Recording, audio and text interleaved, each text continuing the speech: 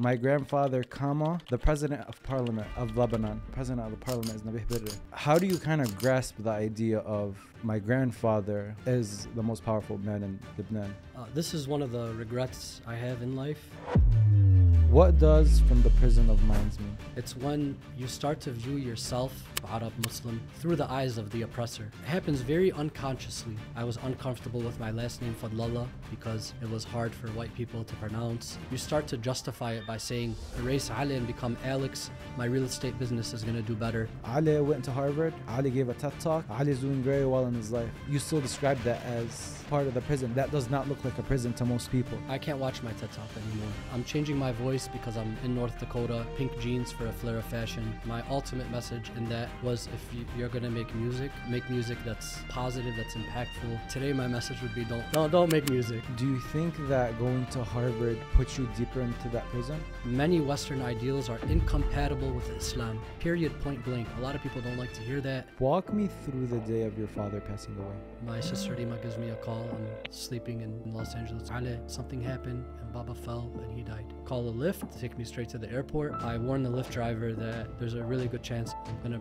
lose my mind in this car. What was the hardest part of your dad leaving? Maybe I'll get in trouble for saying this. Before we start today's episode, I just wanted to thank you for taking the time out of your day and giving this podcast to listen. And I also wanted to remind you that the only way this podcast will ever grow is with your support and with your help. So subscribe to the podcast, like this video, and now let's get the show started. Welcome aboard Middle East والمتوجهة إلى طيران الشرق الأوسط يرحب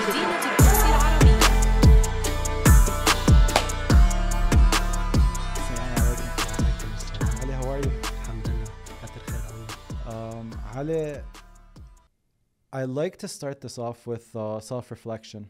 You know, uh, we're going to be talking about your book, we're going to be talking about a bunch of different things, but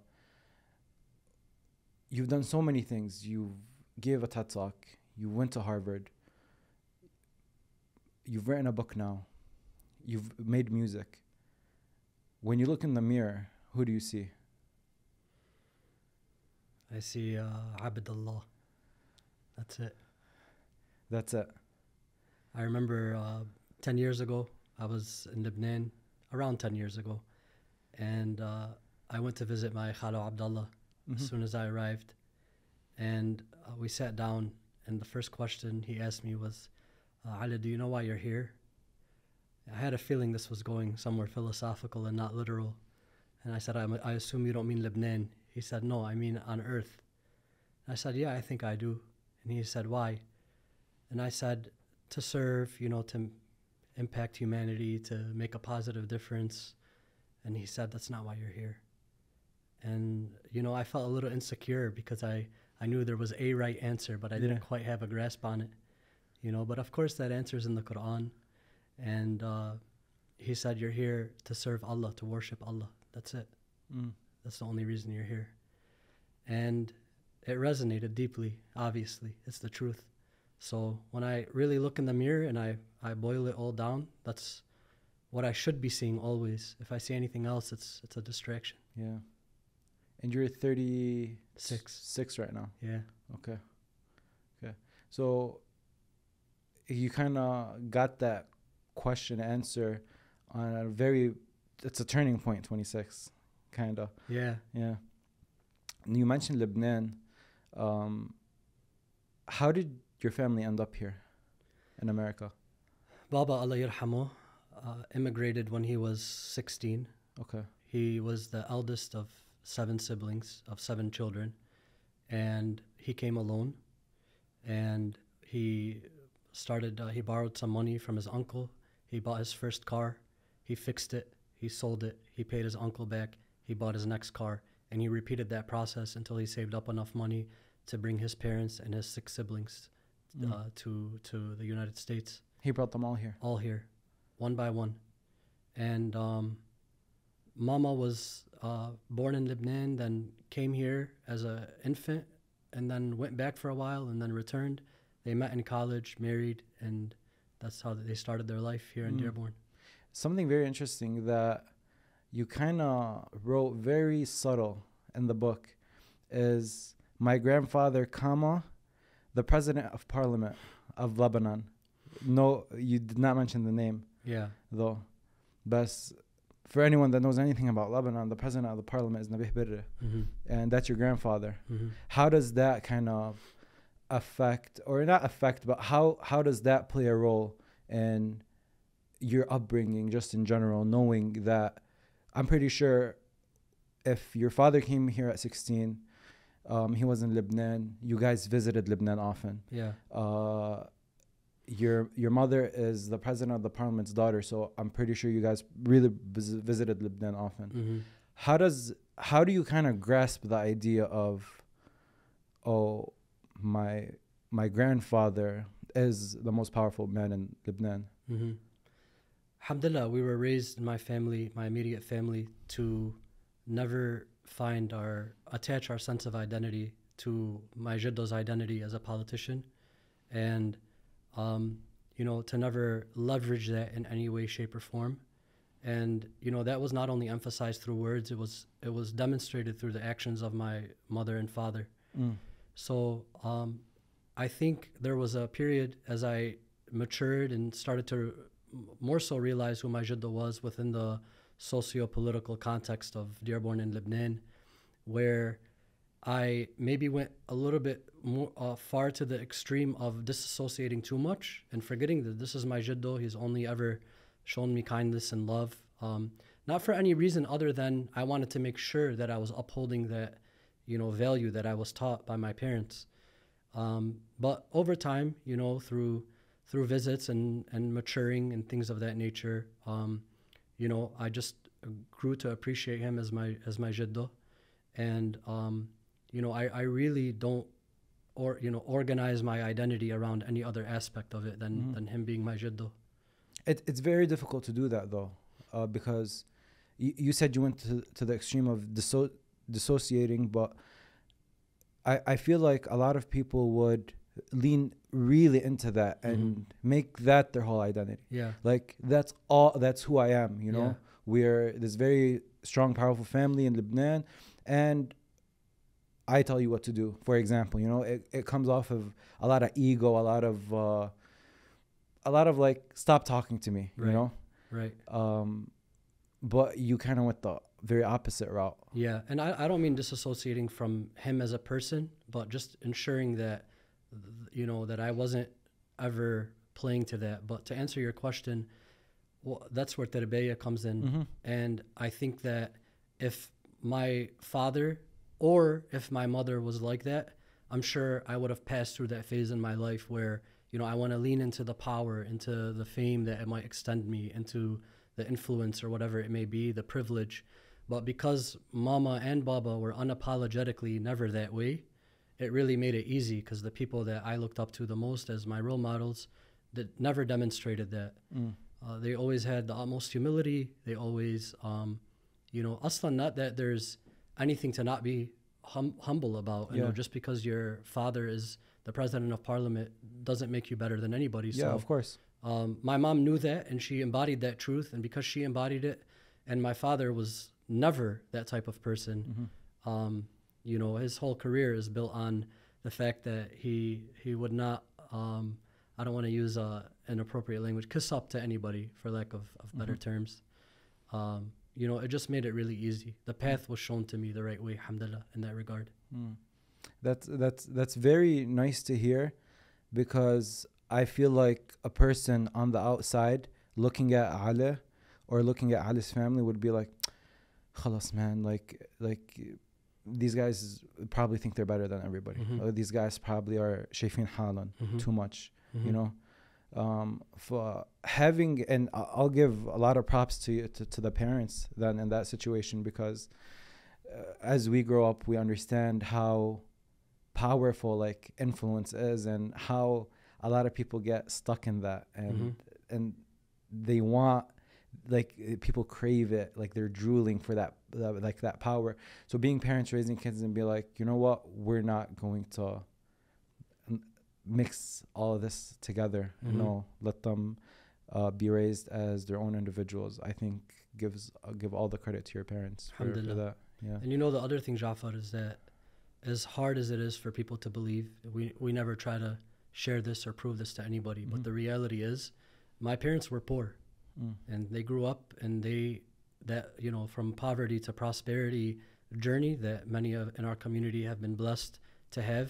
They went through that journey. It was as real for them as it was for anybody else. And that's not to dismiss the fact that, you know, when we land in Lebanon, there's certain privileges that we have that we get to skip a line and we get to do this and that. Um, but the, the impression people have or the romanticized image that there's just this bank account that That is feeding into, from, yeah. into my family and everybody pulls from is, is far from reality, not only for my jiddo, but for a lot of uh, families that have ties to a politician like that. Mm. And the last question on that is how is like how are the meetings with your jaddu now? Like what kind of conversations do you do you have with him?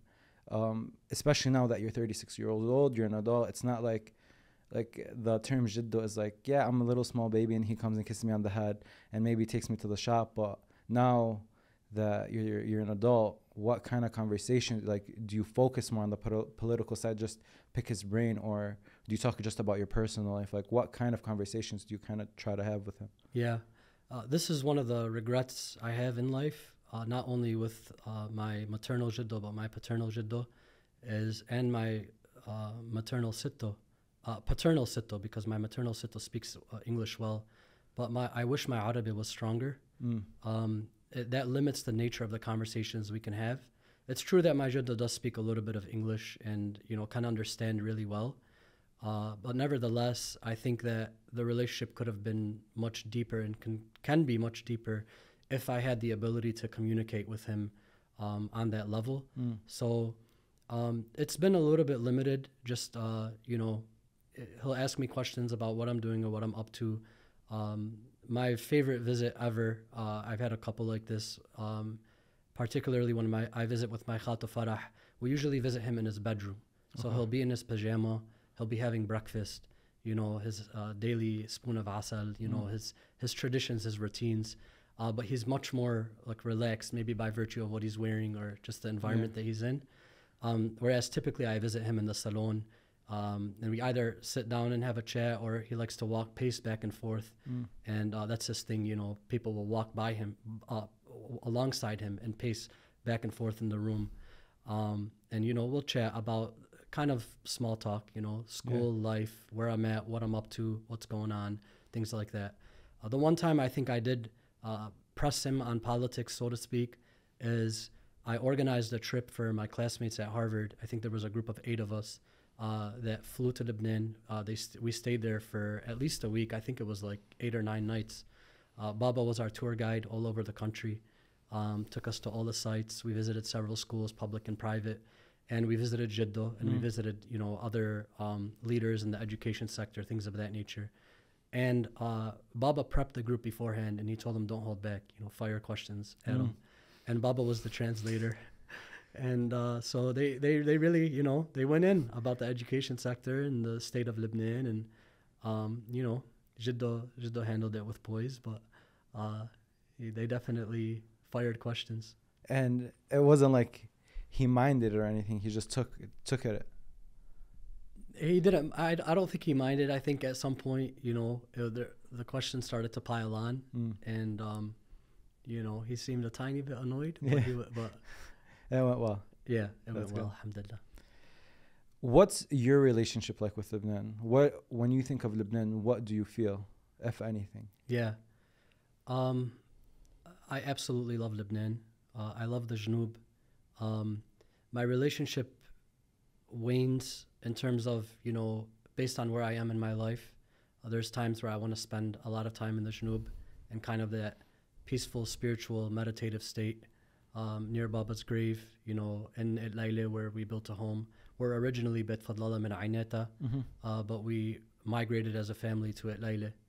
Um, so I feel that deep connection to the South always, but depending on where I'm at in my life will dictate whether I want to spend a lot of time there or not. I, of course, I always want to visit my father in his grave, and course. the hadith, uh, you know, are clear about the power and uh, of of that spiritual presence at the grave sites, um, and I, I of course believe in that wholeheartedly. Um, but then there's other times where I just want to be a, a Beirut boy, for Yeah, lack of better course. terms. You know, I have access to the the privileges that make it feel a little bit more like Mhm. I'm I'm in the United States, but obviously with Yeah. a Lebanese vibe. Of course. One in three adults report not getting enough rest or sleep every single day. One of the reasons why that happens is they simply don't know. You think you're getting seven hours of sleep when you're probably getting between five and six. And how much of your sleep actually helped you recover? I struggled with my sleep for a very long time until I started wearing Whoop. With detailed analytics of how much sleep did I have, how many hours did I spend in my deep sleep or light sleep, to how well my body is recovered. Take control of your sleep and try Whoop out for yourself. Go to join.whoop.com slash not from here and try it out for a month for free. And now, back to the episode. Yeah. Uh, what's interesting is you said uh, visiting your father and stuff. It's, um, I think it's a struggle because uh, each and every one of us wants to be very close to our parents' graves um, and have that like easy access Yeah. so to speak. So it's it's difficult. I feel like like I want to sit by, and you you've experienced it. Um, you just want to sit next to his grave, complete silence, and just stalk. Yeah. And you would want to do that. I would imagine more often than what you have access to right, now Right. Right. um, you writing a book alongside your father was uh, like it's an idea that was very like weird to me you know first i didn't know what if it was your father decided to write a book and then he passed and then you were like no let me continue it continue that legacy that he started or or and then from what i understood it was kind of no it was a kind of like an agreement like no let's write a book together Uh, no, it was the former. It was the the. I was basically his editor. Oh, So- okay, that's what it was. So it was gonna be his book, Mm, and I was gonna have no part in it in terms of my story being told. mm. At least that was where we left off when he passed away. Because I thought when y- y- he pitched the, the name, uh, I thought, and he passed it by you. I was like, oh, so I, so it was kind of an agreement that they would both co-author the book. But no, he was. It was just like an actual like pitch. To them. Yeah, yeah, yeah. Yeah, he he deferred to me on a lot of things in Okay. terms of, you know, he would when he would pitch a title to me. If I told him I don't think it's a good idea, he would trust me. Mm. He trusted me as a writer, as an editor, and um, you know, so when he pitched the idea to me, it just of prison of minds spiritually, it just really it hit me at my Yeah. core. I knew it was the right title without even having the words to articulate why. Yeah, as, as I discuss in the epilogue. you you go and grab the book first of all how long after your father's passing do you think okay let me continue this book or is it like instantly like okay no i need to do this he never released the book i want to do it Yeah. I'm not sure how soon after the thought occurred. Obviously, there were much more difficult traumas and priorities that I was Mhm. trying to process and, and move through. But as soon as the thought came, I, it was never a question as to whether I was going to finish the book or not. It was a huge question as to how I was going to do that. Um, now, I, at no point did I think, oh, this is impossible. I just knew that there was some sort of creative solution that I hadn't thought of yet, um, because I knew, I knew I had to finish the book, and I knew that I wasn't gonna gonna just take what he had produced thus far Mm. and put it together and publish it because it wouldn't have been enough enough or complete or really good, yeah frankly, because he never got it to finish it. yeah Um, so I think I always had a hunch that I was gonna have to tell my story somehow, but it did kind of come as like one big epiphany. Like this is the only way. This is the best path forward. Mm. talk to me about this moment okay you sit down on your computer or laptop you open up the the file for for the book and then you read your father's words Mm-hmm. how does that feel like after you know that this was his hard work and now you're just like uh, going through his words what he said Yeah, in a sense, it's uh, on one hand, it's cathartic, it's beautiful, it's um, an opportunity to appreciate and reflect on his life and legacy. On the other hand, it's frustrating, uh, anger producing, uh, not towards him, of course, but towards the injustice he endured, and now the inability for him to complete that story. Mm. So you're juggling these, you know, this tug of war of feelings. Mm. So, just for people who don't know, your father was a principal at a middle school here in Dearborn, and then he was appointed principal of one of the biggest high schools here, Yes. Fordson, The biggest. the biggest Yeah. high school here. Um, do you think that? Because here's my dilemma: Why would they take someone that's very successful? hmm and put him in a high school that was failing miserably Yeah. you can say because oh they saw that he was very being started being very powerful in the position that he was and then they put him in a failing high school where he can make it better. Hmm or you can or you can look at it the other way which is the more pessimistic way of looking at it but it is a way to look at it is they took him from this middle school and they wanted to take him down and they didn't want him to be this powerful because of the state of that high school. Like i i would, did not live here. I did not experience any of this Mhm. stuff but it gave me a feeling that the the way that the Hara- the the arabic um, Amer- the Arab American was being dealt with, like uh, الطريقة اللي عم يتعاملوا فيها with the person, hmm um, was very bad. You know, like the community was going downhill, like Yeah. very downhill. And when you want to hit the community, you hit the educational system, Right. and then you see this powerful Arabic guy uh, trying to do something, and then yeah, why not take him down too, Right. right? Right. I, I mean, from a perspective of not wanting this community to thrive, it makes total sense to put him in a in a failing situation for Mhm. this guy. What do you think about that?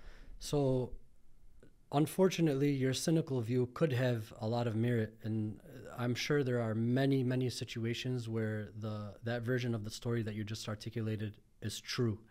Alhamdulillah, in this context, it was for sure not true Okay. because the new superintendent that had taken over at the time, Dr. John Artis, Allah yarhamu, really cared about kids. Mm. He was a man who had a big heart for kids, a big heart for education, and he was a friend of my father's. Mm. He got to the district, he was new, and right away, you know, as a good superintendent would, he was able to evaluate the talent in the district from the perspective of the administrators, the principals, and you know, start to see, all right, what what am I working with here from a team perspective? And where are the biggest needs, the biggest gaps, and who can fill those gaps? And so he came to Baba several times and he asked him, you know, Imad, we really need you at Fordson. John, I'm very happy with the work life balance I have. You know, I have young children. Um, we have a well oiled machine here at Stout Middle School. We've worked very hard to get to this point. You know, we're one of the highest performing middle schools in the state right now. I love my staff. Everything is moving beautifully. Let's not mess with it. Let, there's are many capable administrators who really want that position. There's people begging you guys each year to go there. Choose one of them. Several of them are qualified. I don't want it. So he came once. You know, he said, fine. He came a second time. Baba told him, you know what? Here's a list of names. You're new. I know you're new.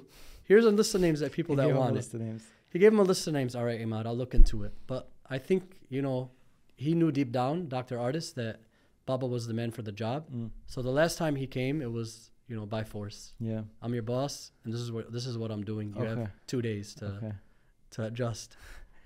That makes uh that makes sense. Um the the stuff that catches my eye when I was reading what your dad went through is the first day he was on the job immediate disrespect from one of the students Yeah. immediately Yeah. you know and i would imagine that that happened multiple times it wasn't just like a one and done thing how does as a grown man you know um how does that affect him if at all when he goes back home Mm-hmm. like did you feel like at one point he was like yeah this might not work like this project is like i can't keep getting be dis- i can't keep getting disrespected like this Mm. from students and from people you know how, how did, does that translate to your inside the walls of your home It's an excellent question, and for him, it wouldn't be from the perspective of the ego of how dare this young child disrespect me or talk to me in this manner.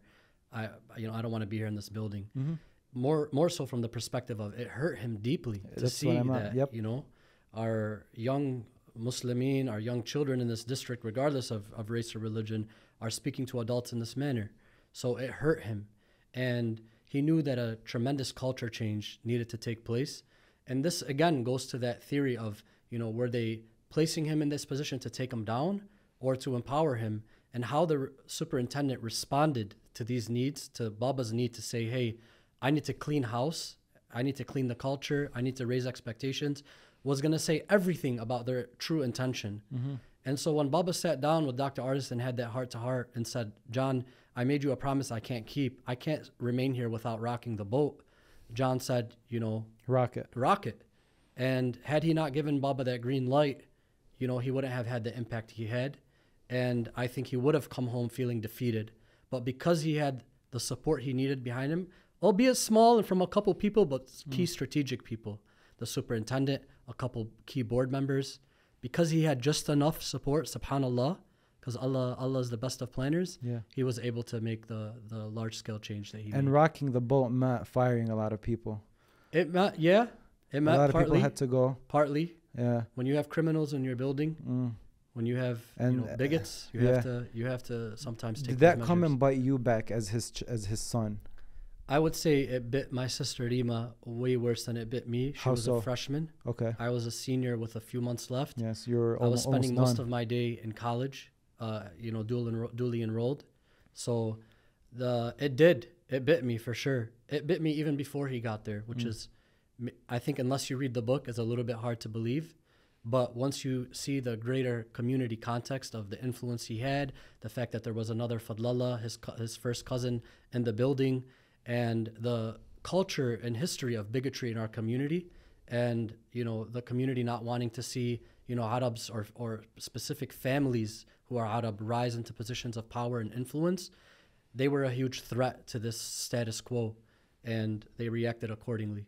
How did it bite your sister Rima? She was constantly harassed. Um, there was a teacher who would do monologues for 15 minutes instead of the 15 minutes of silent uh, reading time that was recommended. Uh, he would do a monologue about. He, first, he would show 15 minute clips of Fox News, which was constantly spewing anti uh, uh, Arab Arab. and, and Islamophobic uh, rhetoric, propaganda. Um, and then um, he would make uh, comments about this administration's this and this administration's that.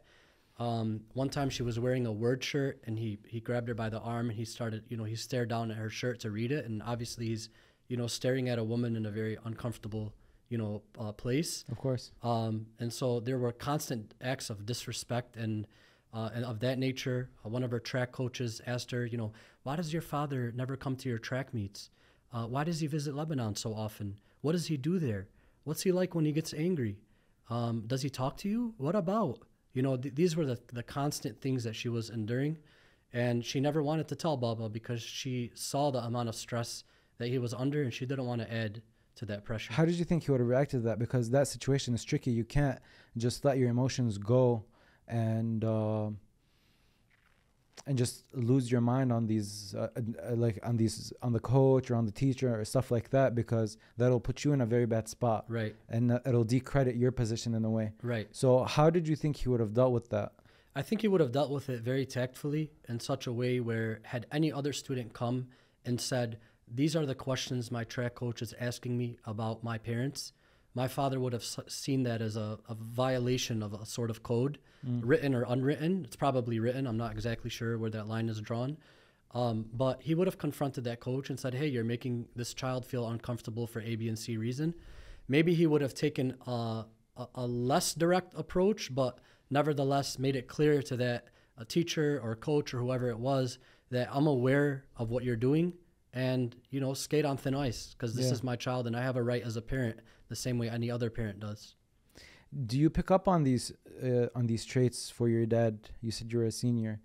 Um, so just about the time where you start kind of trying to understand how the world works and you know um, do you understand how important what your dad was doing at the time or did you look at your dad as just he's just my dad who you know baba bilbet tells me to do this and that or kind of oh baba is going against this this and this and I have to see what he does here.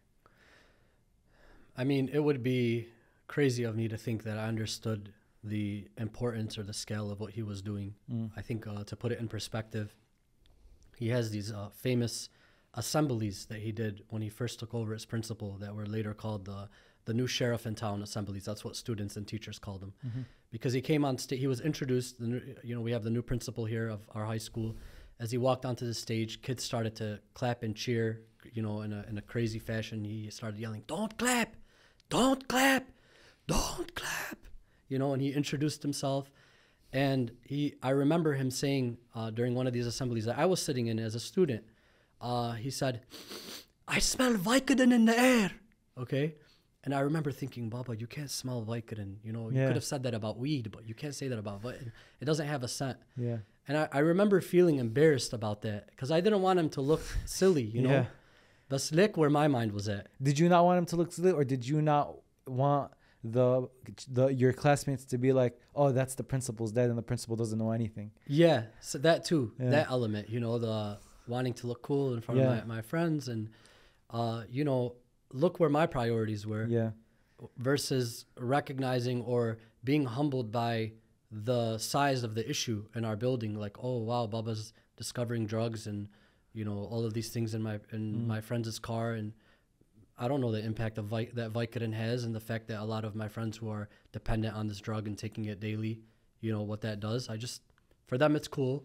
And I know I can't do it. I know it's bad, but I don't understand, you know, The severity of it. exactly. What does from the prison of minds mean? It really, it finds its roots initially from this heart-to-heart conversation that Baba and Dr. Artis had, where you know Baba was telling him, "I ha- I can't continue in this position without rocking the boat. Please appoint a permanent principal as soon as possible." Dr. Artis says, "You know, uh, what's going on? Why?" And he says, um, "John, this year, this building is at least ten years behind, and you know, um, the kids are third-class citizens in this building." um, everything is designed to cater to staffers and not students. And Dr. Artis says this is a lot of discovery for three days' time, Imad. Be specific with me. And Baba starts to detail all the things that are the, the chaos that's taking place, the prison-like climate at Fordson High, the fact that one student was admitted to U of M Ann Arbor in 2004. By the time, within five years, over 120 students were admitted into U of M Ann Arbor of, of Baba being principal, and several more were admitted into Ivy League schools. Wow. The expectations were extremely low of students. He asked counselors how many letters of rec they wrote. They all proudly answered zero, because if our kids do go to college, which many of them won't, they'll end up down the street at Henry Ford, which doesn't require an ACT or an SAT or a letter of rec or any of that. So we don't do any of that stuff for them. Um, not that there's anything wrong with Henry Ford College. I teach at Henry Ford College. I love Henry Ford College, Yeah. but we shouldn't be limiting students uh, to. You can only go there. You can only go there. Um, so, you know, Baba started to highlight to him the policies, procedures that, you know, having to wear an ID, the only school in the district where you had to show your numbers at all times, just like you're in a prison. Whereas your numbers, you don't have your numbers, suspended for 10 days. Ten days. 10 days, oftentimes 10 days for coming late. Uh, they would lock the doors on students, which at the time was against the law um, when other students were in the classroom if they were tardy. Oftentimes, students were tardy for legitimate reasons, coming back from a field trip. Teacher kept them a- after class for a conversation, etc. Didn't matter whether you had a pass or not. You were locked out, had to go to the office. Oftentimes, you were suspended for that. So, once he shared all of this with uh, Dr. Artis, he finished by saying, John, this is a prison of young minds. That was that. And one day, months into, maybe years into me and Baba working on the book, uh, he was passing back and forth and he said, uh, Jake, I have the title. And, you know, I looked up at him nervously. I'm like, man, this better be good, you know, because I don't want to tell I don't want to hurt his feelings. He seems so excited Yeah. you know i don't want to hurt his feelings and say baba that's not that's not a good title um but subhanallah man when he said the prison of minds i i, I every hair in my body stood up. Every hair in my body. I just it, it was an unbelievable feeling. And um you know it, it continued to the significance of the title continued to grow in my mind because then it became you know thinking about well what was the impact of me uh, of of being in the prison of minds as a student? When I had to finish the book myself then it was like, you know, that's when I came up with the prison of my mind. Because I saw that much of what I endured and struggled with after high school in terms of a, from a mental health perspective was rooted in this experience I had, you mm. know, K through 12 in Dearborn Public Schools, especially in high school. the the interesting part of prison of minds is what you detailed was it's a beautiful story of how your father found that these students were locked in a prison of minds but you take that concept and you apply it to every single one of us to yourself to myself to anyone you see outside in the streets we are all locked in some sort of prison you know Yes. um what what's the prison of your mind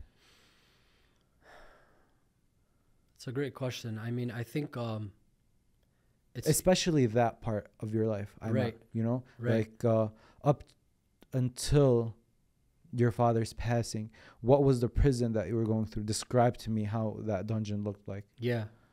Um, it was a dungeon where I had a lot of internalized oppression, and to define that term, it's uh, it's a sociological term. It, it comes from the field of sociology, and it's when you start to view yourself or others who are part of your group, Arab Muslim, through the eyes of the oppressor, and it, it happens very unconsciously, where you want to start to disassociate from your identity, from being Muslim, from being Arab, not in such a direct way where you would want to say, you know, I don't want to be Arab or I'm not Arab or I'm not a Muslim anymore. For some people, it does get to that. But even for those of us that are that are trying to latch on to those identity markers, um, if we're not truly educated and empowered in what our identity is, then we start to want to disassociate, and that can look so many ways. That can look, um, are they know- wanting to be alex yeah, for yeah. the for or you know you have a beautiful beautiful name Jaafar. And for a long period of my life I disliked your name. And when I you know I studied uh, media a lot uh, the impact of media and in its many forms whether it's uh, music um, you know literature um, you know podcasts whatever it may be how does media impact us the way we see ourselves and I think back to, as silly as it may seem to some, these are when the seeds are planted. I think back to those Disney movies as a child, how there was, you know, Prince Ali, which made me feel better about my name and my identity, mm. and there was Jafar, mm. the evil villain, yeah right? And so look at the name, look at the name they chose, right? And then you later on, as you mature in your identity and you start to learn about Imam Jafar as-Sadiq alayhi salam, it's impossible to meet Imam Jafar as-Sadiq, meet in the sense of learn about him, become educated about him, regardless of what religion you belong to or what sect you belong to, and not fall in love with him. And by extension of falling in love with him, you fall in love with the name. And that name starts to carry a, a beauty and significance that you can't unsee or undo. Subhanallah. So these are the ways that internalized oppression, you know, starts to rear its ugly head. And so you thought that it was getting to you to where you were starting to detach from that identity Yeah, I think um, you know there was. I'd be dishonest to say that there wasn't a, a extended period of my life where, you know, I was uncomfortable with my last name Fadlallah because it was hard for white people to pronounce, or I felt like if I called a restaurant or I called a place and I said Fadlallah, then I was less likely to get what I needed. Mm. So you start to justify it by saying I can get further along in society if I, you know, erase Ali and become Alex, my real estate business is going to do better. My ability to get this job promotion will be better. Um, it's a very tempting route to go down. and it's easy It's easy and it's a slippery slope. It's a very, very slippery slope. how does your day And that's no judgment on, Of you know, course. we all have loved ones and family members that have gone from Hassan to Sam or whatever Mm. it may be. It's not a judgment, you know. It's I, I'm I'm telling you, I will I am foremost historically guilty of it, and still I'm sure undoing some of those layers. Mm-hmm. It, it just happens and like you said it's okay I, I love my name and everything but if i'm ordering a coffee in a predominantly white area and i don't feel like going back and forth because if i say jaafar they're gonna be like what how do you spell it Mhm. i i still to this day sometimes just say j Mhm. okay Mhm. who's this for j I Mhm. just want to get this over with i'm trying to get my coffee and leave Yeah. you know so we are still guilty of it do we try our best to take to go that extra mile and say no Jaafar and it's J A A F A R? Mm-hmm. Yeah, I mean we're trying. You mm-hmm. know what I mean? But how does your day to day look like while you're in prison? Yeah, just a quick note on that. Go ahead. I think it's just it more comes back to you. There's nothing wrong with giving the person J because you want to keep it moving, but if you feel if you feel that sense of any sort of shame or I'm gonna be embarrassed of saying Jaafar, you know, or if they can't pronounce it, I'm gonna feel less proud of my name. That's that's what you want Yeah, to I agree with you. Yeah. yeah. Yeah. Very, very good point. Yeah, and even that that could even we could even extend that. I'm sure there's maybe I have a cousin Hussein that I know for sure is, uh, loves Imam Hussein alayhi salam and loves his name. He goes by Sam. He has his reasons. As long as Baino ben Nafso, he's at peace. I'm not saying there's something objectively wrong with it. I'm saying oftentimes, more often than not, it's a red flag for us internally to know that there might be a sign of internalized oppression there. Day to day, Yes. I started to, um, you know, the the the slippery slope that we describe. It starts with these little things, um, but it evolves into us. You know, when we're not educated about our Deen, when we're Muslims culturally and not through our own spiritual journey, um, then you're vulnerable. You're prone to making mistakes, uh, to distancing yourself from your Deen, uh, to deprioritizing your salah, deprioritizing other aspects of your deen, and going down the wrong path in its various forms. You know, whether it's um, weed or alcohol or, you know, uh, being in inappropriate relationships or whatever it may be. Um, these are things that let's be let's be real. a- Yeah. A large, large percentage of our community struggles with, and um, you know, it's it's it's also a result of internalized oppression. You know, I ask you about that because for me looking on the outside, Ali went to Harvard. Ali gave a TED talk. Ali is doing very well in his life. He's accomplishing these milestones that a lot of people really want to. And you still describe that as part of the prison. That does not look like a prison to most people. That looks like, oh, this guy's doing the right things, you know, getting a phone call from TED, getting accepted to Harvard. Yeah. All these things are not your typical prison like uh, events that occur in your life. Yeah. But you still describe that part of your life as part of that prison. Yeah, yeah. I think that's uh, one of the ironies in the book. In chapter 12, it's called Still Broken. Mm. I really try to highlight this contradiction. On the one hand, Harvard was a dream come true. And up until this day, you know, when I make dua and I thank Allah for all the blessings and the ones I take for granted and can't even think of, and then I go down my list of things that I can think of, you know, and obviously, you know, family, our health, you know, those things come first. But down somewhere down on that list, I I still thank him for the fact that I got into Harvard because it was huge for me. It was Yeah. humongous, especially as somebody who was never a good test taker. Um, my GPA uh, coming out of college was a, a 3.5, I think maybe a 3.6. Um, there was nothing metric wise or statistically that would think like, oh, this guy's for sure getting into Harvard. Bil'aks, this guy's for sure getting rejected from Harvard. Um, but alhamdulillah, I had enough work experience and other things to uh, compensate for my shortcomings uh, uh, in terms of those metrics that helped them see something in me and want to take a chance on me. And um, so I say all this to say, you know, those are blessings and they're not ones I take for granted ever. And I do think Harvard had a great positive impact on me. But during that journey, while I was earning my doctorate, I was also mentally ill in many ways. I was that's when I uh, sought help for to see a, a psychiatrist. I talk about that in length in the book, and you know, there's this juxtaposition of there's this guy he's at Harvard. He's even learning about adult development psychology. He's even teaching people about it. He's even responsible for helping people on that on that journey themselves. And yet, in his private life, he's seeing a therapist weekly. He's working through serious traumas. He's trying to undo these layers of internalized oppression. He feels broken. He's distant from his deen, you know, but, but trying to get closer. All of these things are happening and, and they often coexist in the same person. Do you think that going to Harvard puts you deeper into that prison? That's an excellent question. Um, no, Okay. I don't. Um, I think it helped me because I do think education is really, really powerful. I do think that traditional education, higher education, um, you know, whether somebody's earning their master's or doctorate somewhere, medical school, dental school, if you're not very careful and you're not staying in communion with Allah subhanahu wa ta'ala, it can corrupt your soul, it can corrupt your spirit. Uh, we are in the West, many Western ideals are incompatible with Islam. Period, point blank. A lot of people don't like to hear that. Um, you know, and sure, a lot of uh, values or cultural traditions that have emerged in the East, in the Middle East, are incompatible with Islam. Of I'm not denying that. Yeah. But for sure, uh, there are a lot of Western ideals that are totally incompatible with our deen. And many of us are disconnected from our deens. We're spiritually disconnected.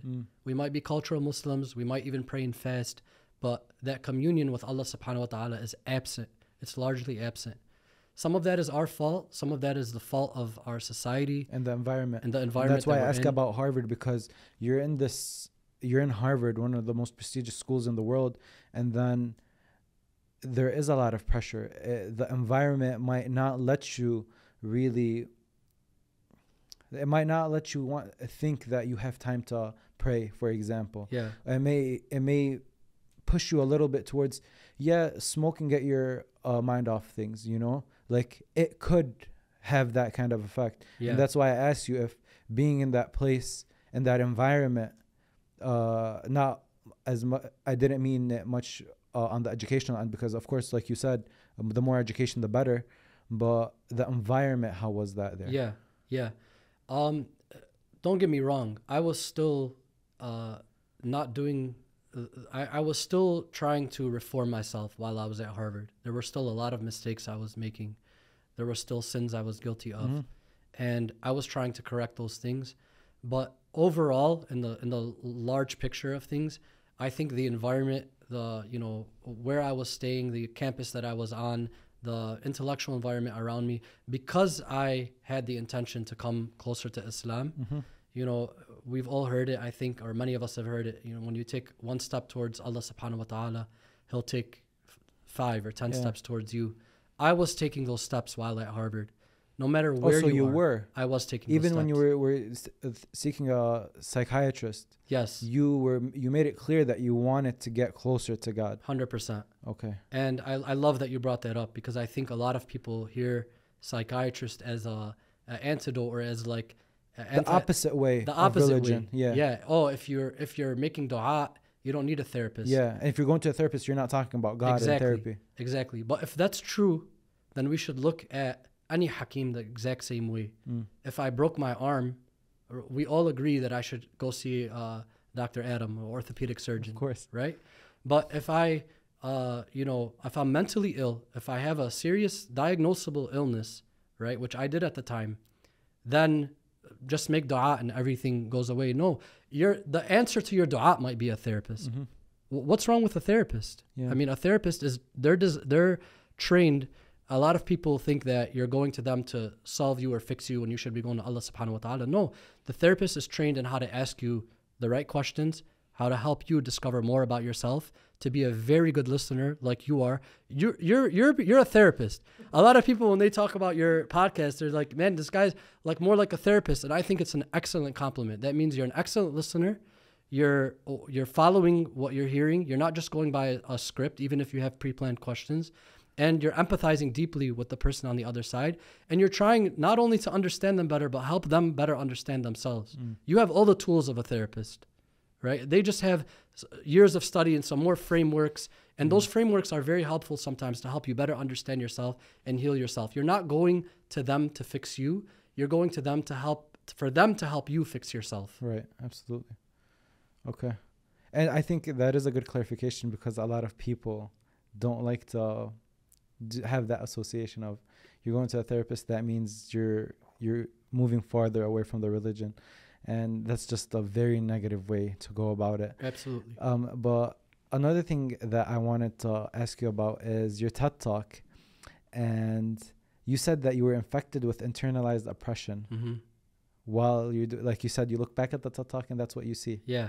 what about that makes you feel like you were a state in, of internalized oppression when I look when I, I can't watch my TED talk anymore. Um, and that's that's probably a different form of internalized oppression.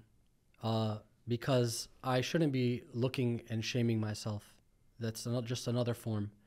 Um, But when I look at the TED Talk, and I'm even just trying to look at it objectively, you know, I see somebody who's trying to fit in.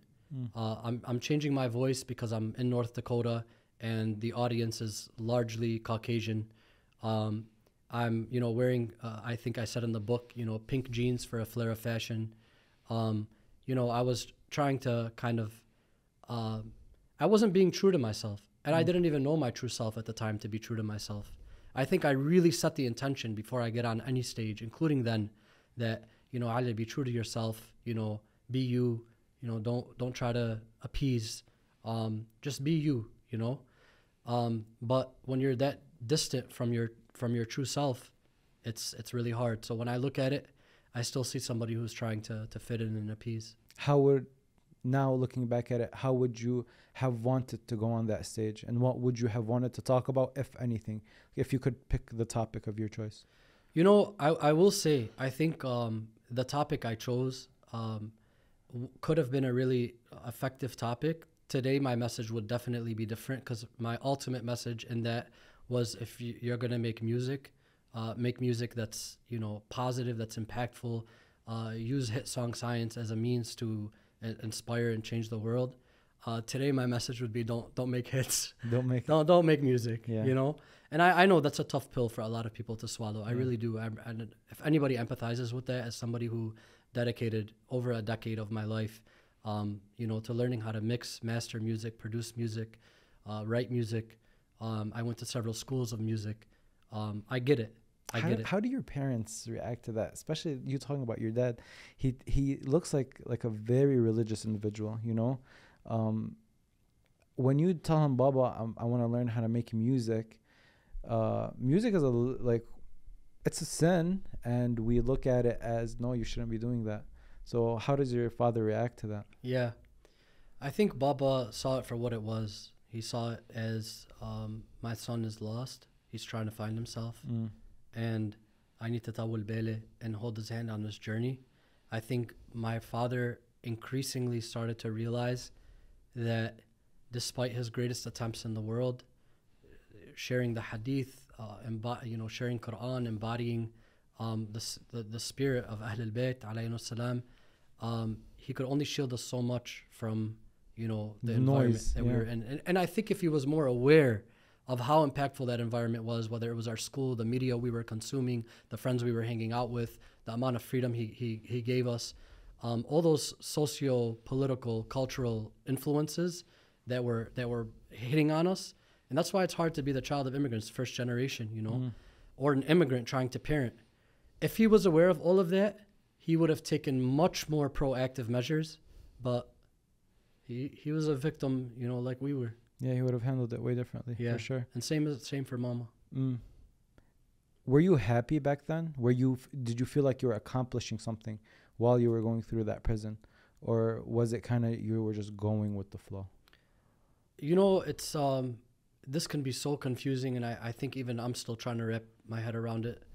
But um I I think that for the most part, although I had some, you know, dark days, um I'm I'm I was a happy person. Um now that happiness does not come anywhere near to the peace or contentment I feel now. Mhm. Which by the way, I don't think the goal in life is to be happy. A lot of people think it's to be happy. It's not It's not.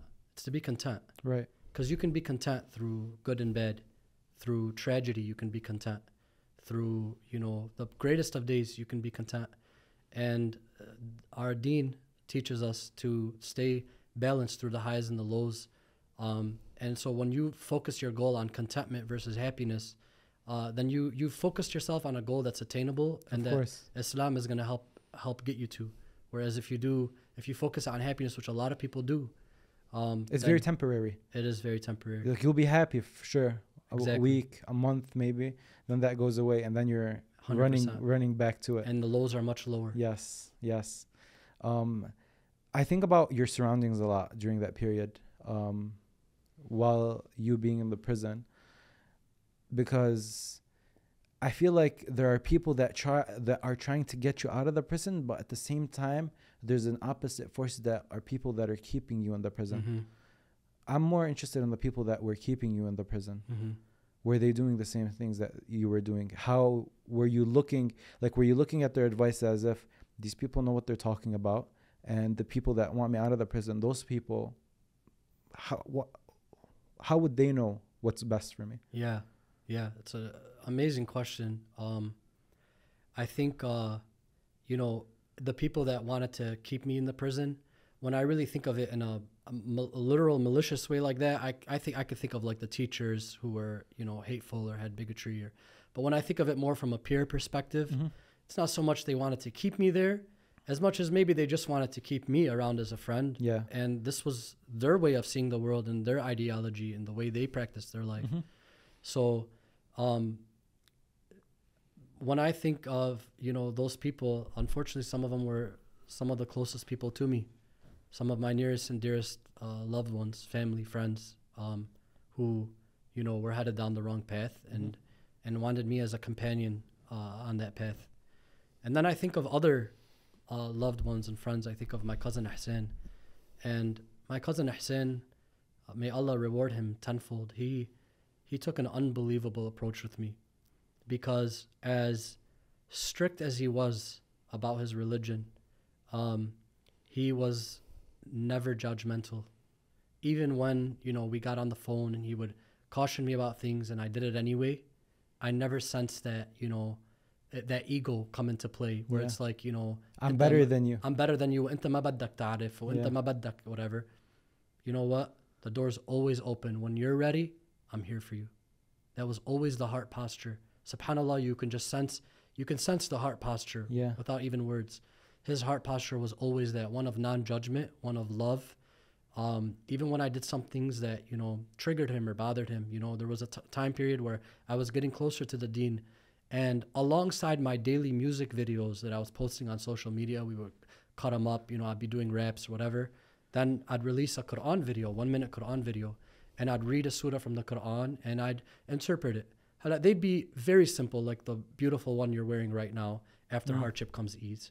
You know, most of us can explain that in pretty safe terms. You know, if you're going through a storm, whatever it may be, just know that there's there's ease coming on the other side. Allah subhanahu wa ta'ala promises that in the Quran. You're most likely not erring yeah with what I just said, Yes. right? But he taught me that, you know, you can't interpret Quran. Ahl al-Bayt are the only ones that could interpret the Quran. yeah But they didn't interpret everything. Who says? Who says? Says who? Did you try? Did you look? Did you read their hadith for you to say they haven't interpreted everything? You know, and so it's like, all right, I don't know. This he's saying something that's really piqued my interest. I've never really looked deeply into this hadith thing. Mm-hmm. I know there's a lot of controversy around it. You know, but let me just keep going for now because I really like this Quran videos are making me feel really good. You know, so I do that did you feel bad posting the music videos no, for a while until until somebody I can tell you that story briefly as well.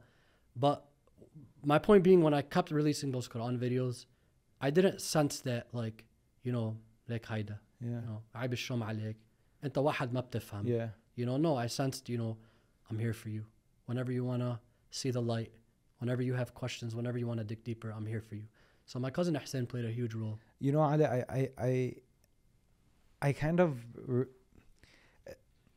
I, I love that you mentioned that because it's people look at that and if they see someone that's let's take the example that you gave you were posting music videos and at the same time you were posting quran um, people look at that for the most part and see uh, Ali is confused and he's painting a bad picture for the religion I really hate that point of view, and I'd rather look at him posting Quran videos as uh, a lifeline. You know, like this person isn't as bad as you guys think he is. Mm-hmm. You know, okay, he's posting music videos, and music videos aren't the best to post, and whatever. But he like, there's a lifeline there. Like he's interested in Quran, or or he's posting that he's praying every day, or whatever wh- whatever the case may be, I don't think it's neg- I think it's very positive. yeah You know, because that means that there there is a lifeline for this person that he can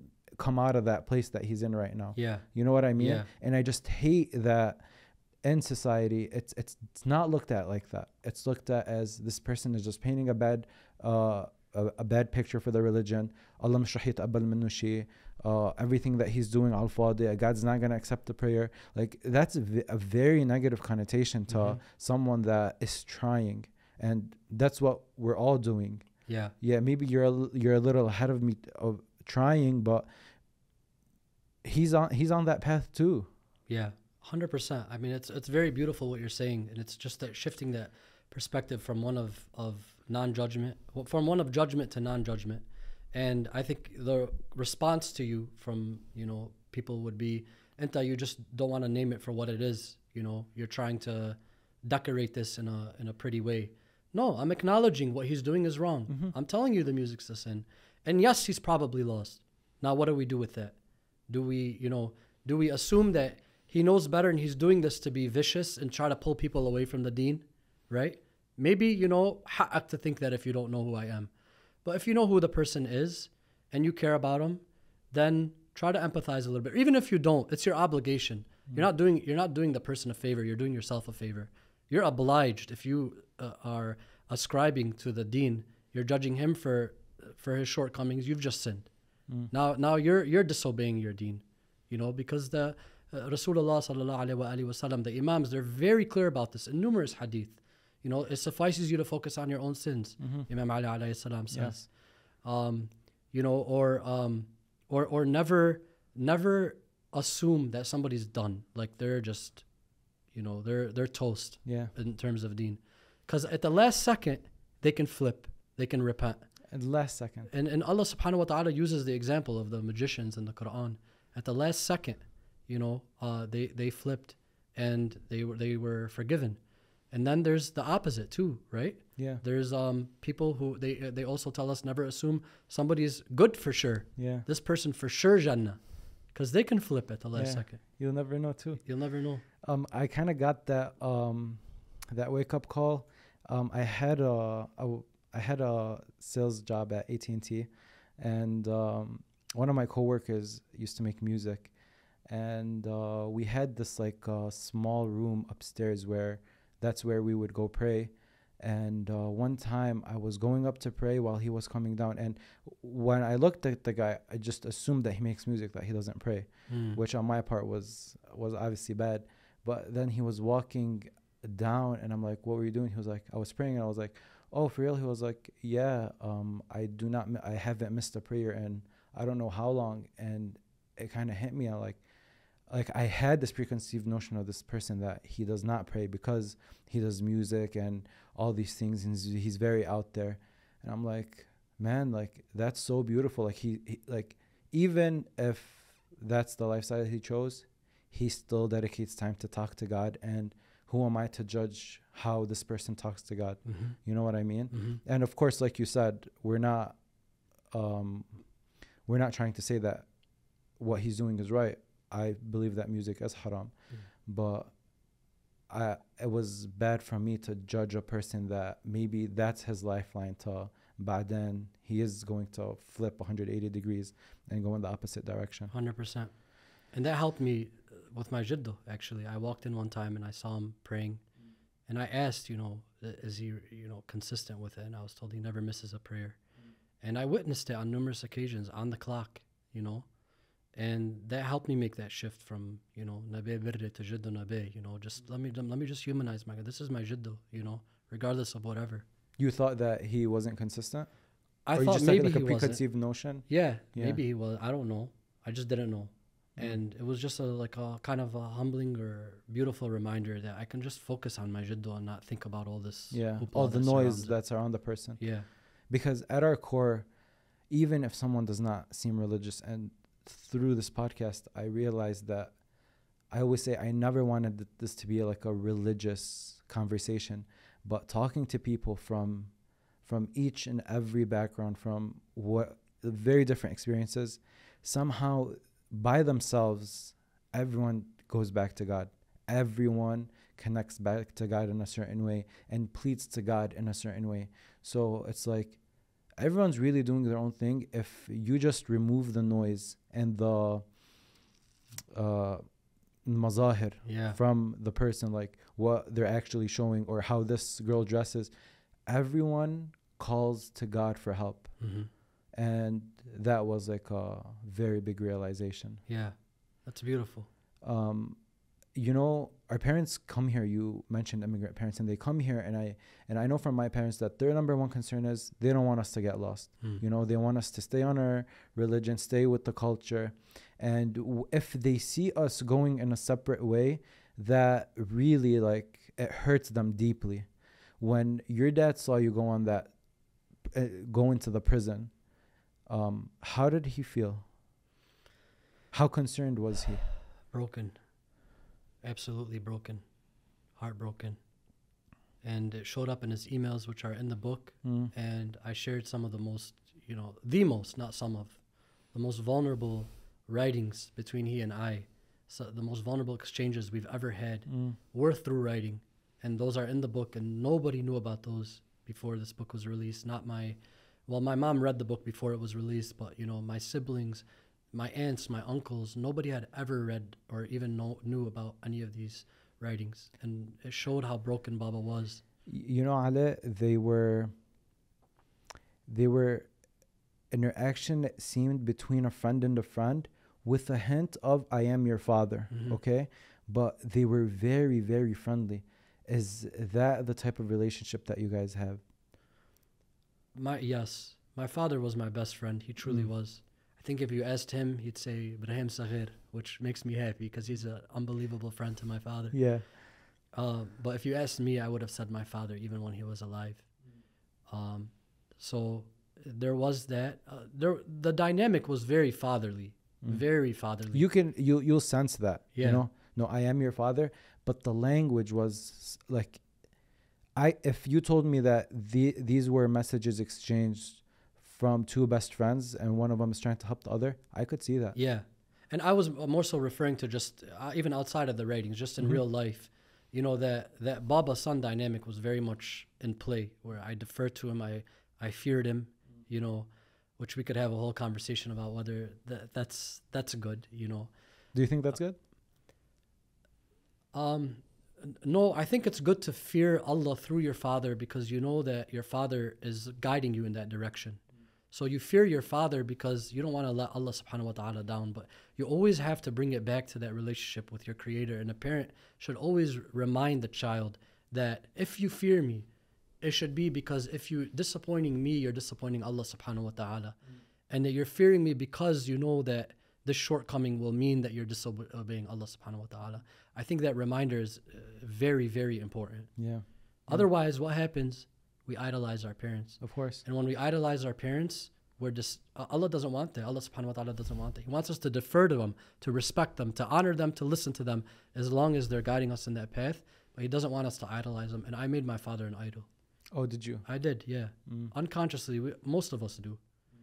That's not to lessen my guilt. That's just to help other people reflect on the extent to which they make their mother or father an idol. How do you know if you made your father an idol or not?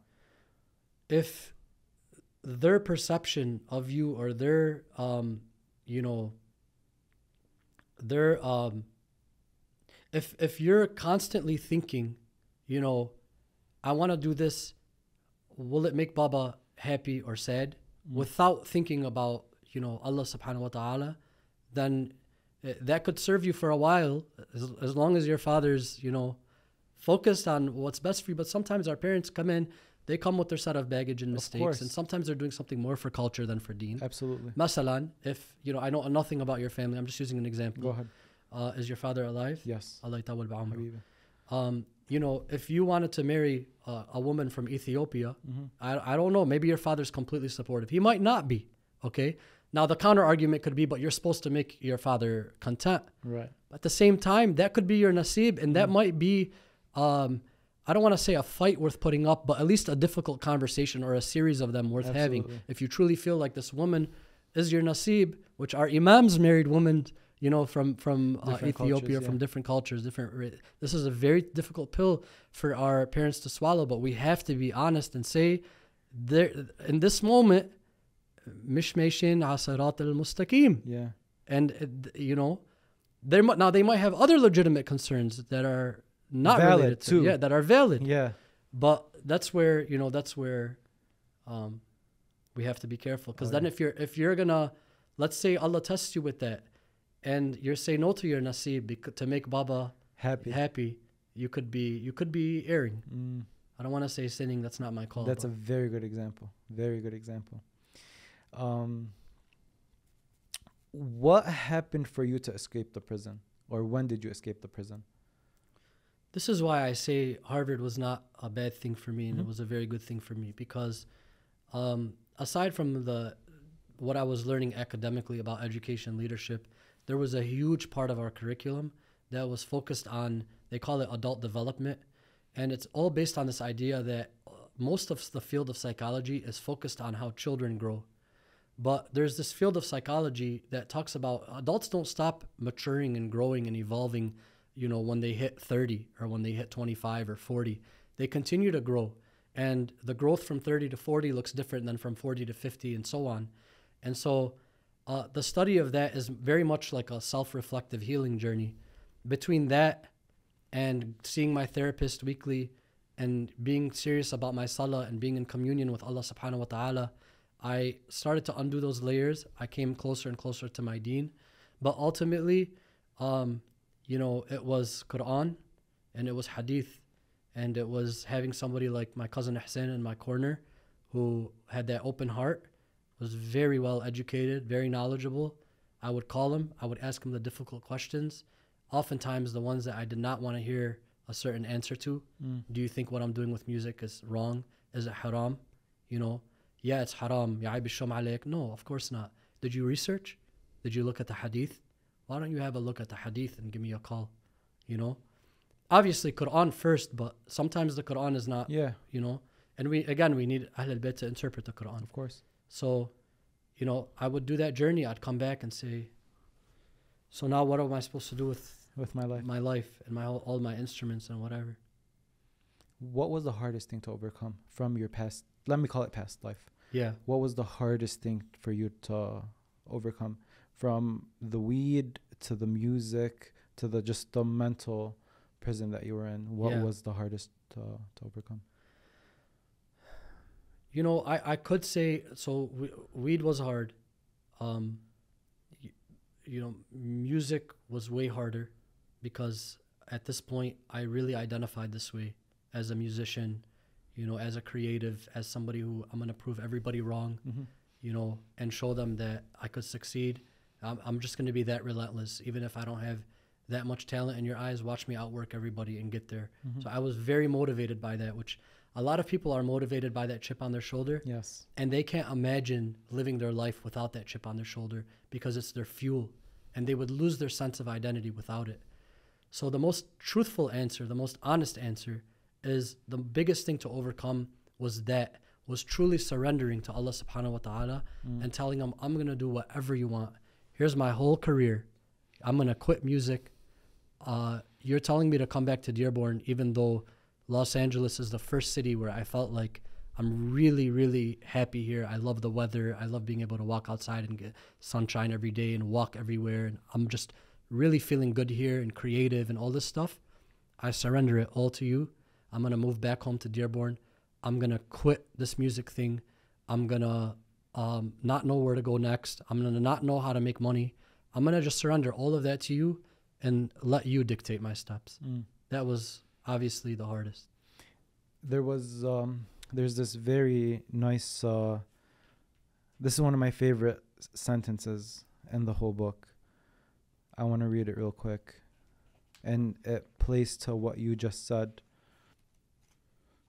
are you sure the critics are wrong do you actually know what's right or are you too afraid to do the research and potentially upend your life? What I did know is that God neither requires nor forbids something unless it serves to help us, heal us, and bring us home. So the search began. This is a very difficult question to ask yourself because the bias that we have to towards ourselves is no of course what i'm doing is right you know um, especially when it comes to something life changing like i really have to leave everything behind and move back to dearborn start from zero uh, were you in your 30s here Yeah, I think I was 29 or 30, maybe no. I think I was thirty or thirty-one. You're, you're, that. you're in your 30s Yeah. and at, at 30 you want to believe that you Yeah. started to have your life put together and you know what you're doing yeah, and then just to surrender like that is not easy you Yeah. know yeah, and you start to get a little emotional yeah. which uh why Because uh, Allah subhanahu wa ta'ala is so merciful. Yeah, on the one hand, you um, you know you're giving everything up, but a part of you feels like, you know, if if I'm willing to do this, you know, for Allah subhanahu wa ta'ala for the sake of being guided, like you know everything, you know uh, you you have the tawakkul, you have the faith. Allah Allah puts it in your heart. Allah gives you that that confidence, that godfidence to know like I'm I'm going to lay out your steps. Even and that just that leap of faith is it's so beautiful at the same time. It's so beautiful. How are your conversations with god during that time? How do how how it's it's a personal question you know Yeah, everyone it's talks to god in their own way but how how were those conversations like you doubting your whole entire life like what am i going to do now? You know so what do you tell god? Yeah. Uh, um I, I just heard a hadith i think it was yesterday or the day before that uh somebody asked rasulullah sallallahu alaihi wasallam um either how they can uh you know um make up for a sin or get closer to to allah subhanahu wa ta'ala and um he told them to prolong their prostration um I, I love keeping my head on the sajda. They said that Imam Ali alayhi salam would do the entire dua kumail uh, in the sajda, on the sajda. Um, and uh, I just love to keep my head there after my salah and just, just talk. Like, just, you know, first I, I focus on, you know, th- um, praising Allah subhanahu wa ta'ala, then thanking Him, then, um, you know, uh, um, uh, repenting for my sins, um, then praying for others, then praying for myself. And when I get to myself, I just, you know, whatever I'm whatever I'm concerned about, uh, I'll bring up interpersonal issues that I'm having with family members. I'll bring up feeling lost about what's next or what to do. Um, Allah, you know, I'm doing this with with with good intention. You know, I'm I feel I feel you're calling me back to move to Dearborn. You know, maybe my nasib is waiting there. Um, I know that you'll order my steps. Uh, I'm I'm surrendering to you. I'm doing it. You know my heart. You know it's you know I'm I'm I'm doing my best to to clean it and to surrender. So just wherever you take me, I'm ready. And when you can say that and mean it, then you know you know that it's it's just a matter of time. a lot of people can say that but they can't mean it Yeah, so a key word Yeah. there how did that pay they off They can, but they need some more work. uh, how did that pay off Uh, I moved back to to Dearborn. I met my wife. Uh, I got married. Um, my little side hustle of helping people, you know, edit their papers for college or graduate school became a full blown business. Um, alhamdulillah, you know, I uh, Allah gave me my nasib, my riz'ah. Um, you know, He brought me closer to the Deen. Uh, he just started to clean up every aspect of my life. All right, now that you're ready to do it my way, and not your way, watch this. Found did you find exceptional results Alhamdulillah. you did Alhamdulillah. Khair Allah. walk me through the day of your father passing away Um, my father had a uh, heart surgery at Henry Ford Hospital. okay Um, I flew in for the surgery, Mhm. and I flew out a few days after. I was working a full time job at the time, in in Los Angeles. I, I was still at Harvard, but in our last year, we do something called a residency, kind of similar to med school, ten month residency at a specific site.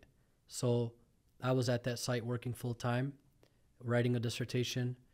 So I flew in, surgery happened. A few days later, he was reco- at home recovering. Alhamdulillah, everything went well. And uh, I flew out, and um, he was in his recovery. And, you know, they sent a nurse to the home. Everything looked good. Um, one night, he just uh, woke up, rose out of bed. Mama was sleeping next to him. She rose, Habibi, you need anything? What's going on? Um, he got up. He, you know, I tell the story in chapter 12, still broken. He, he finds his shahatas on the floor. He takes a few steps forward. He turns towards Mama and um, he just collapses.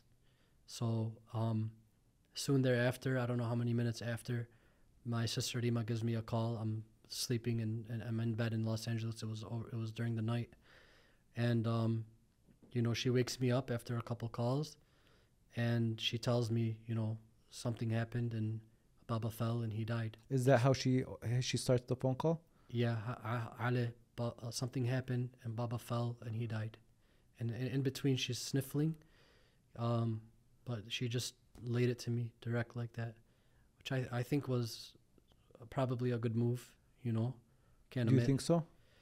yeah, I wouldn't have wanted it delayed or sugar coated. You know, I, I think I needed to know.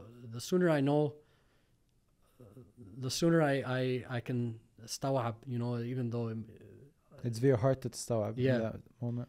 and I, I describe it in the book as uh, literally it was my, my best attempt to help you or the reader like uh, really follow me on what that felt like or really feel me on what that felt like um felt like i got on this this missile and it just like was speeding me through these these stages of grief they call them i didn't know about the stages of grief until after this happened but What um, are the stages of grief? I don't I don't memorize them anymore. I think there's like denial, bargaining, um, uh, acceptance. There, I'm missing at least one or two, but initially there's like this initial denial, and the part of you that's connected to to Allah Subhanahu wa Taala doesn't want that for yourself. So so I, I felt like I flew through that stage, but I felt it intensely, and then the bargaining, like okay, no, it's really bad, but he's not he's not gone, or he's, he's you know maybe he'll come back in a second, or you know maybe we don't know everything. Maybe they're going to revive him. Maybe it just it just looks like he's he's gone but he's not actually gone. So you're you're bargaining you know? Um, and you're even trying to negotiate with Allah subhanahu wa ta'ala you know no like you, you know let let this not be you know? Um you know and then you you get to acceptance which obviously takes the longest um and uh Did you fly back to his funeral? I, yeah, I, I, I immediately flew back. Um, I, I, first I started, I, I left the apartment. I started uh, pacing around the blocks um, outside. Why? Um, In retrospect, I think you're you're trying to uh, you're trying to get out of your head, like physically, like you're you're trying to somehow you, you the more confined the room is, the more trapped you feel in, in your thoughts somehow. I don't, or maybe it was just uh, my my desperate attempt to try to create some sort of um, room to breathe. You know, um, so I'm I'm walking, I'm walking, and then I call a Lyft, and then uh, you know I ask him to take me straight to the airport. Um, I warn the Lyft driver that you know there's a really good chance I'm I'm gonna uh, you know lose my mind in this car, break down, crying and things like that. Uh, I just lost my father, you know, and uh, he had just lost his mother a week, a week or two prior. So he talked me the whole way there, you know. He he he gave me moments of silence, which I, re- I really needed, but he also gave me words of love and encouragement. And um, what are some words that might encourage someone in that situation? I um, feel like there isn't. O- only if if you're a believer uh if somebody's not talking about god at least in my experience then you kind of don't want to hear it. Mm. you know? You don't want to hear you know the last thing you want to hear for me let me just talk about myself. Last thing i wanted to hear in that moment is the universe is you know has you. You know or, the, uh, or um you know hey you know um hang in there you know. I, I don't know. I don't know. I'm not i'm not i'm not putting a judgment on those things like that's some people are at but i i was comforted by i love you from my friends and family um especially my friends. And i was comforted by you know uh, any words that had to do with allah subhanahu wa ta'ala and his mercy and the supernatural strength that he's going to give us during this time and the patience and all of that. If it wasn't those two things i it didn't help me even if i appreciated it. How funeral happened here, yeah correct? yeah um just going based off of what you told me about your father and what I've heard about him, this is, was a probably massive funeral. A lot of people shows up showed up to that. yeah When you look at the amount of people that are coming, all from love and respect for your father, does that give you a little bit of ease that my father really left his mark on the world? Because I feel like in those deep, I still haven't. Allah Muhammad, my parents who the rest of your family, but I still haven't lost a parent. But I feel like in those deep moments of of grief and pain, you you really do a lot of reflection, and you start looking at I don't know maybe signs of, like you see thousands of people walking into your father's funeral. Um, do you reflect on his life there? Like, wow, look at how many people he touched. Yeah. You know, I, I don't say this to lessen the impact that that that, that had, um, because it was everything you're saying. It was absolutely beautiful and inspiring. It it touched me. It um, made me emotional. You know, but what happened in Lebanon blew my mind because I expe- I expected it here. Mm. I expected it here, and, and even with what I expected, it was it was overwhelming. The outpouring of love and support. You know, it's not like I had a number in my head. I, I expect you know 500 people to attend my father's funeral. You know, but I just I knew that a, that he had a great influence here. He had a lot of great relationships.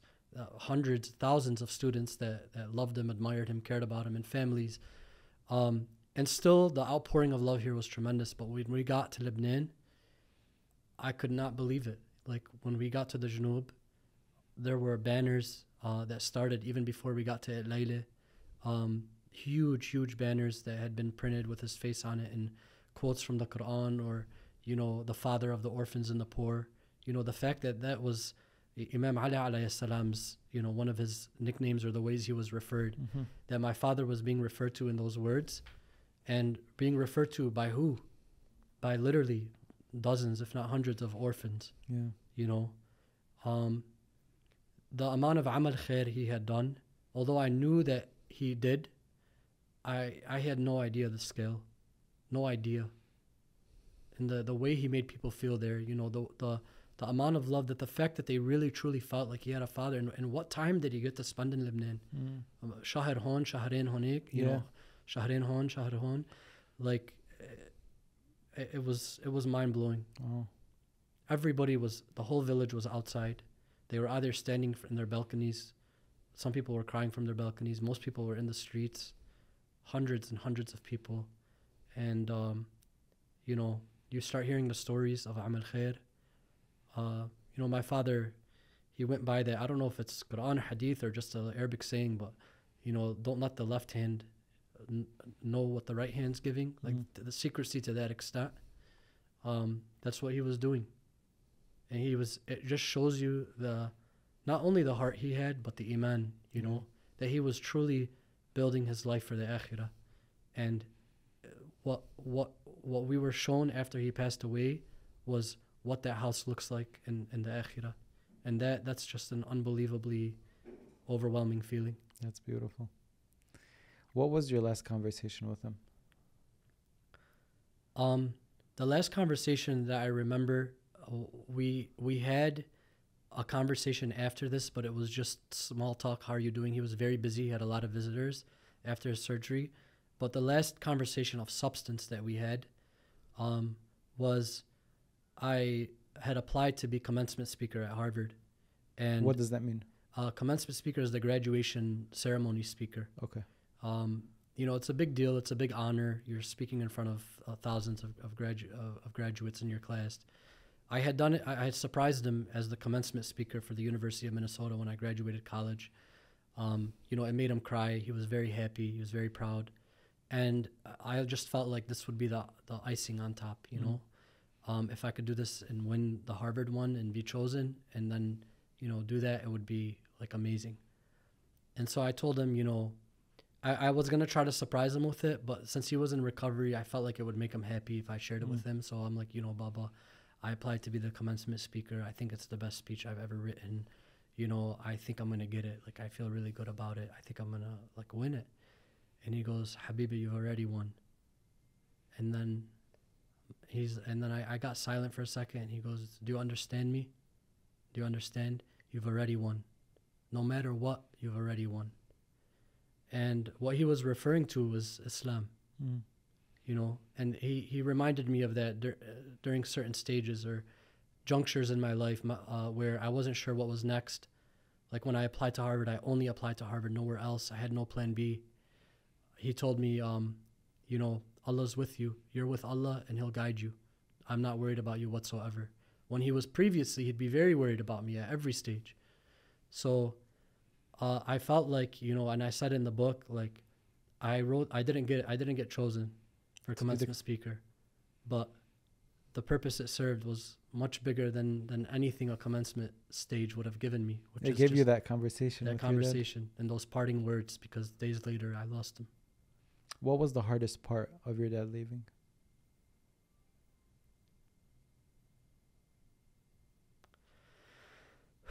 Um, you know, my my barber couldn't take me for this uh, in time. It was my fault. I missed our appointment yesterday. I was coming back from the from the hospital. My wife and I had to go in for something, and um, so on the way back we got stuck in traffic. I missed my appointment. He couldn't take me this morning, so I had to go to a new barber this morning. And uh, you know, uh, he was asking me about my family, and it whenever somebody asks me about my family, it, it, the shock reemerges. I realize I'm still absorbing the shock of the fact that, um, you know, after we lost Baba Allah yarhamu, and then my tata Im Imad uh, three months later, um, you know, farat al aile, Mm. you know, um, and that that'll hurt my aunts and uncles. But everybody knows, to a large degree, it's it's true, that you know she uh, my father was the eldest. He was like a second father figure, especially after Jiddo Allah yarhamu passed away. He stepped into that role. Well, he was already in that role, but he he was even more so that role in their eyes. And then uh, Teta was the glue, you know. Literally, I mean, the family jama'na kil Yeah. because of her and at her house. And when we lost them two, um, it was just kind of each family f- for their own. And uh, you know, my mom moved to Lebanon because her, her whole family's there. Uh, my brother has been in Dubai. My sister's moved to LA. And you know, it's like, you know, I'm here. You know, with my aunts and uncles who are I'm still very close to. Um, my wife and her family, and now our baby. Um, so we're it's like this long transitional period where now we have to start Your own life. our own life and family and that that, that those new networks that we used to take for granted and we used to have.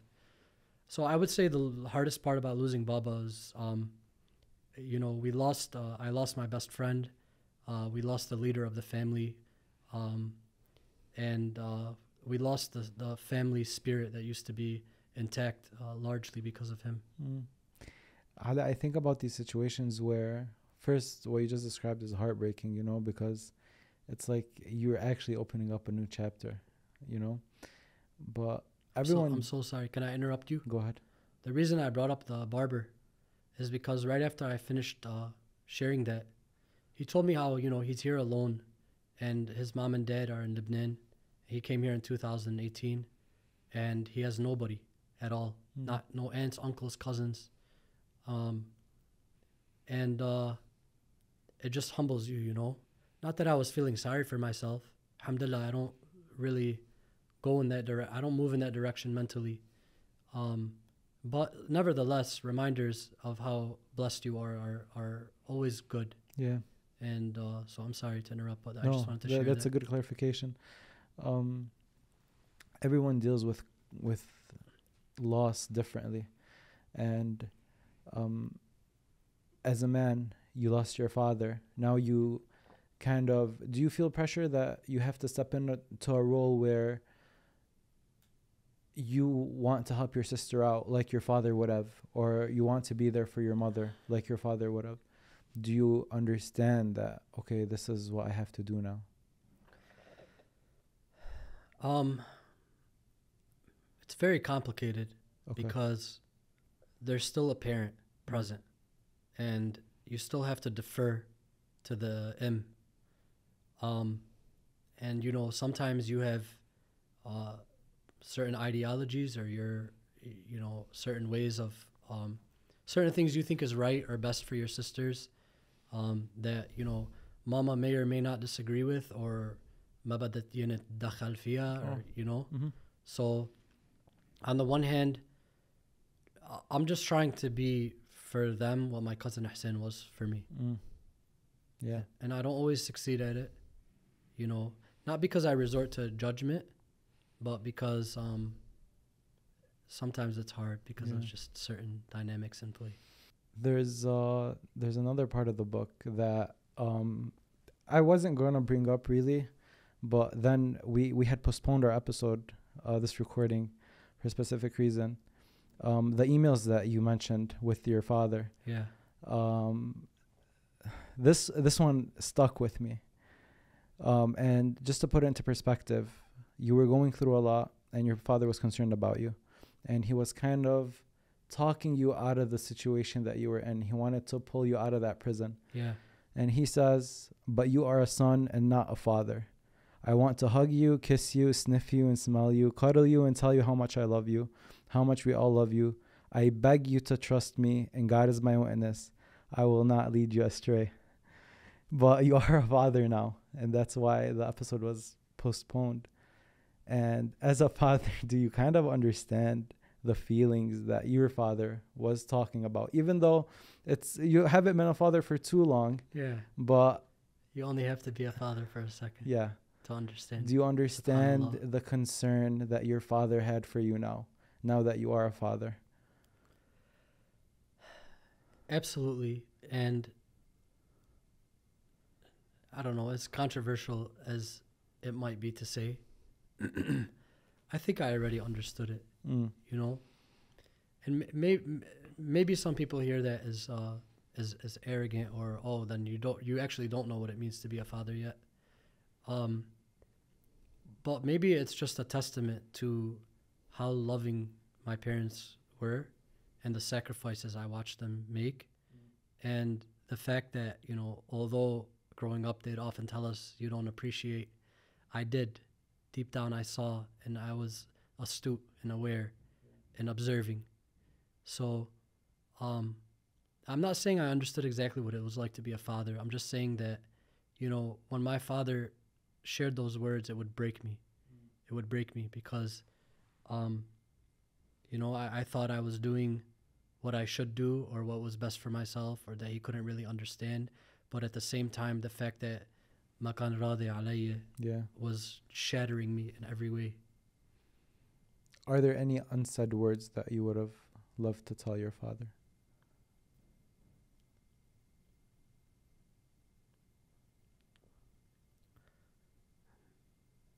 Alhamdulillah, because I came back to the deen and he saw that, um, you know, I just feel like there's not so much like a sentence or specific words that I wish I could have told him, as much as um, conversations I crave to have with him. You know, and uh, there's a part of the book where you saw the poetry when I went to this uh, site in uh, near Atlanta Yes. uh, Chattahoochee Hills, and they had like I was on the board for this organization, and they allowed you as part of your service to the board, because it's an unpaid volunteer thing, to reserve the uh, these little um, cabins where they would put artists to write, um, and so you're allowed to reserve them when they're not being used. So I would reserve them and go write, and so a few months after Baba passed, I reserved one. I went to write, and I really thought I was gonna make a big push on the book, and I, I couldn't. I just had no inspiration in me other than you know to grieve and to write poems about the gr- the grieving process, which Subhanallah ended up being in yeah, the book. yeah. Um, you know, so in one of those poems, uh, I talk about how you know, um, I, I think it was the one where I talk about you know, uh, um, in your silence were the secrets that you didn't care to keep, buried in the deep south of your soul Hmm. and it just relates to um, another uh, another one of the poems or the things he used to say to me a lot was ask me before you lose me a hadith Yes. from Imam Ali alayhi salam and um, my father was a very silent man um, and you you would only get if you asked if you asked he was ready Mm. he was ready with the hadith ready with the Quran ready with you know the knowledge the wisdom that you needed but you had to ask um, and I, I said in that poem, I felt like I was just getting into that rhythm, that, that right shot to your heart rhythm where I would ask the right question and inspire the right conversation when the rhythm of your heart stopped. Yeah. And so that's how I feel. I just feel like the the new era of our friendship that we were walking into was going to be by and far the most beautiful, the most fruitful. Or now we have the same values. Now we're on the same page. You know, Meishin Hadbad. I'm no longer a source of stress, worry, yeah. distraction. But I'm I'm your fr- I'm your you're gonna see me as a friend too. Yeah. And just as we are entering that stage and warming up, he passes away. Mm.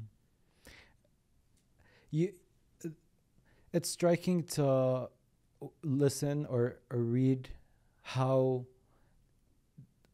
the Harvard graduation was, um, where your father wasn't there for it, but your father was there for you graduating out of that prison, Mm. right? And I think that's a way more valuable graduation for him to be present in than the Harvard graduation. Yeah, it's Right? beautiful. Yeah, and I and I'm happy for you that that was the case, and you not being like, I wish he was here to see me graduate out of the prison. Right. You know, I Right. I'm pretty sure you do prefer him seeing you graduate out of the prison than graduate out of Harvard. Yeah. Maybe I'll get in trouble for saying this. Um, you know, I think uh, this might not resonate with her. This is, you know, this is just my perception. But when I think about my sister, my younger sister, both of my younger sisters, really, like that's what breaks my heart the most What? and in some ways even my older brother that you know i don't feel like baba really got to see them graduate from that mental prison Mm. so i can't imagine i you know i think um i largely attribute my ability to heal from it at least in the time frame that i did and we're all still healing from it Of course. But just to make peace, um, of course, there's deen and tawakkul and all of that, but there's also like, you know, بآخرها كان راضي علي, you know. Mm. And I'm not saying he wasn't راضي عليهم, but um, I'm just saying that, you know, I felt like he and I were aligned. And I don't know how much my other siblings felt that way. So Mm. it just, uh, it hurts me to think about. I mean, I guess if you're that person that, like you said, like your cousin Hassan was to you, uh, then it'll all be good in the end, Yeah, inshallah. inshallah. What's one thing that we didn't talk about today that you think we should have? I wouldn't say there's anything that we, you know, should have talked about that we didn't. I think it was a beautiful conversation, What you're an, a master at. So thank, thank you for that. Um, but you know, I guess the first thing that came to mind is, um, you know, just the the crisis we have in our community. You know, whether it's uh, the opioid uh, crisis, the the spiritual drain, um, the disconnectedness from Allah Subhanahu wa Taala. Uh, the the guys I graduated from at Fordson, the guys graduating and the girls graduating from Dearborn High, Edsel Ford, um, in our community are suffering from a lot of things, and you know, as much as accountability is important, uh, understanding the context that led them to that is is equally important. Mm. And so whether it's the gambling habits, um, the dependency on you know uh, painkillers, um, the the brothers and sisters were losing due to mistakes like that. A lot. The internalized oppression, the lack of understanding of Deen, um, the sectarian war and hatred, um, the lack of educational opportunity, the lack of awareness parents still have, and uh, with re- relation to the book, the fact that, like I say in the book, this is not a book about history. If There's one thing I really want people to know with regards to the book. I said it in, I think, chapter 12. We've handpicked from a thousand acres of history to help showcase the present day. Mm. And so, um, that's, I think that's what I would say. Mm. I mean, I like to look at that stuff as okay, what are you going to do about it? That's that and you're you talked ab- about it as um, the area that we're living in right now, but I'll take it as farther as the larger immigrant community, the Arab Muslim community that is in the West. Like what are you going to do about it like these are the problems that you have in this community and all the other communities Yes, like let's do something about it 100%. thank you ali for this beautiful conversation Habibi, it thank was uh it was honestly like I wanted it even to go longer, but I'm happy that it went this long only, so we can have a part two later. Inshallah, ya Rab. Um, tell us where we can find your book. It's on all online platforms Mhm. Amazon, Barnes and Noble, Target.com. And um, the last couple of weeks have been a bit of a storm. So uh, there are some delivery delay issues that we're addressing right now. It is Mhm. available hardcover on Prime right now. You could get the ebook. Uh, but paperback will soon be resolved where you can get it on Prime, two day delivery, uh, as well as the audiobook will be available soon, inshallah. Are you recording it? Yeah, uh, we're done. We're just making. Oh, you recorded we're it. fine tuning. Yeah. Beautiful, beautiful. Thank you so much, Habib. Thank you.